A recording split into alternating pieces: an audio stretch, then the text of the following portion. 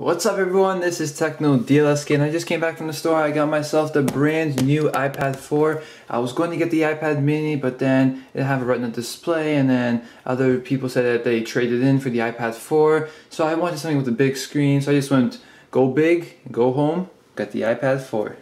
Alright, so let's get this thing to unbox. I got the 16 gigabyte white model.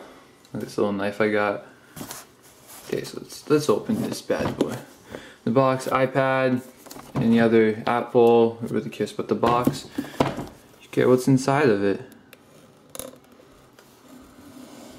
Okay. Open this.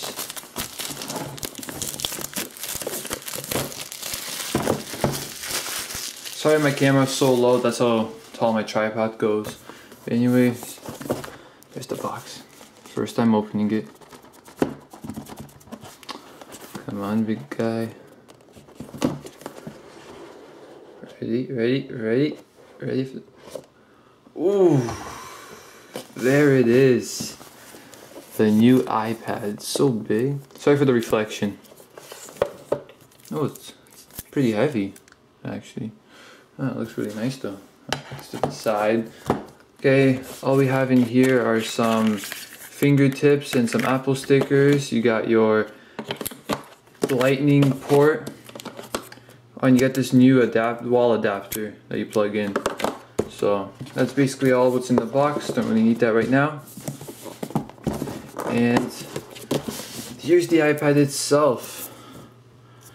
Look it's actually really thin actually it's really thin because I never really held an iPad. The only time I held an iPad was in the store but that's like connected with all these back stuff on it so you can't really feel how heavy it is so that's really nice. iPad mini like it too, but I thought I'd just go for the bigger screen.